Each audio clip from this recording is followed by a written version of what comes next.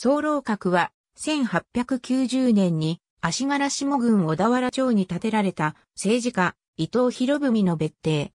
1897年に中郡大磯町に同名の邸宅を建てて移転し、本籍も同町に移したことから本邸となった。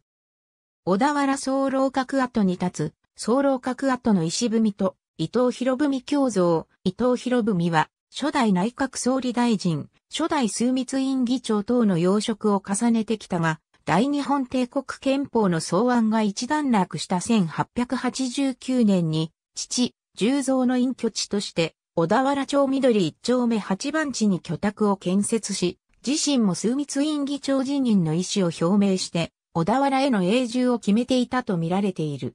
同年10月に海岸のみゆきの浜に面した小田原町十字643番地に別邸建設を開始した。1890年10月にその別邸が完成し、総楼閣と命名された。小田原の地に本格的に腰を据えようとした伊藤の意に反して、同年伊藤は貴族院議長に就任。1892年には第二次伊藤内閣を組閣することになり、その間には日清戦争もあるなど、生還の日々を送ることができない状況にあった。伊藤がこの総楼閣に来ている時には、政府の要人たちが次々と東京、小田原間を往来し、日清戦争に関する重要問題も総楼閣で処理したことがあるほどであった。1893年には、明治天皇王女の上宮政子、周宮房子両内親王が悲観のために、総楼閣に滞在した。その1893年に、伊藤は法天調査会を設置し、自らその総裁となって民法改正に着手する。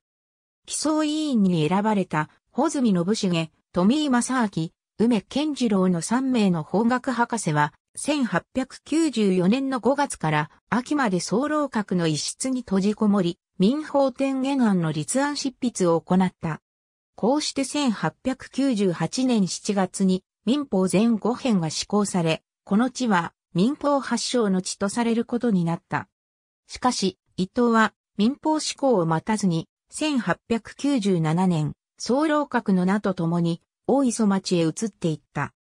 建物は、洋上館として、西村刑事の手で、リゾート旅館として再開されることになったが、1902年に小田原町沿岸を襲った小田原大海将により大破し、その残部も1923年の関東大震災で壊滅した。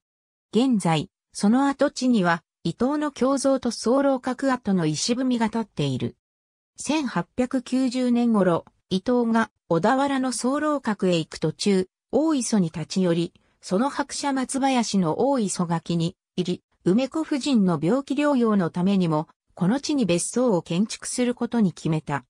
別荘が完成すると、小田原の総楼閣を引き払い、大磯の別荘の方を総楼閣と名付けた。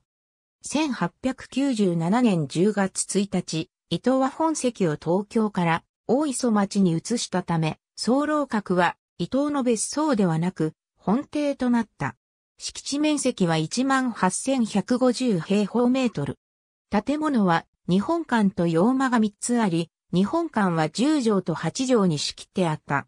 一方、3つの洋間は英国調となっている。廊下等には明治天皇からの歌手品であるエブスマが飾られている。日本画家湯川松堂により、源義家後三年の役、聖御前の舞、大田道館高狩り、飲みのすくねの相撲の各場面が描かれたものである。また、伊藤は邸内に尊敬していた先輩の三条、耳、岩倉智美、大久保利道、木戸高義を祀った四剣道を作り、東西の両壁に掲げた四健康の像に向かい瞑想に、ふけったりしていた頃の大磯には、150個以上の別荘が存在したと言われる。大磯在住時の伊藤は、素朴を好み、散歩の際は鳥打ち棒に着物の簡単な服装で出かけた。ふらりと農家に立ち寄っては、米麦の値段や野菜の出来具合を聞いたり、夜の海岸へ出かけて、地引き網の見物をし、イカ釣り船の漁夫に話しかけたりしたという。地元の祭りの時には、四都村の鏡を抜いて酒を振る舞い、地域との融和を心がけていたという。